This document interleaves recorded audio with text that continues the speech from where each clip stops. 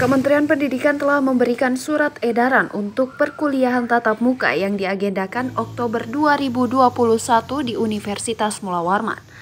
Tak hanya itu, Rektor Unmul yang merupakan universitas terbesar di Kalimantan Timur ini juga telah memberikan surat edaran untuk kuliah tatap muka ke seluruh fakultas.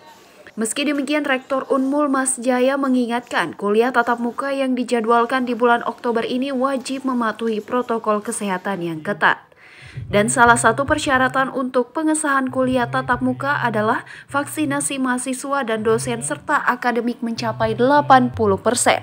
Hal ini disampaikan usai perayaan Dies Natalis Visip Unmul di kampus Universitas Mula Warman. Tatap muka di kampus secara kebijakan nasional sudah ada edaran kementerian kepada kita bahwa itu disesuaikan dengan kondisi masing-masing perguruan tinggi. Okay. Oleh karena itu kita sedang mengkaji dari okay. sisi uh, pendekatan uh, kemungkinan hmm. mengatasi COVID-19. Oh, uh, itu yang yang perlu makanya kami hmm. kerjasama dengan Nika juga sudah minta ke kementerian. Oke. Okay. 38 ribu dosis vaksin untuk mahasiswa dan sebagian alumni. Oke. Okay. Dan alhamdulillah untuk satu dua hari ini tanggal 7 kita dapat dari Pangdam ya oh, dan iya. Korem.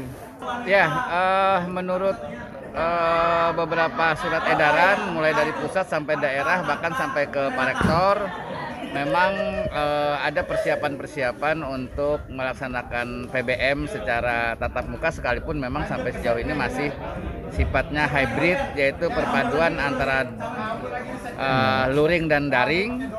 Artinya bahwa sekalipun kita tatap muka tetapi tetap dibatasi dengan jumlah dengan prokes dan sikap kehati-hatian dari semua pihak.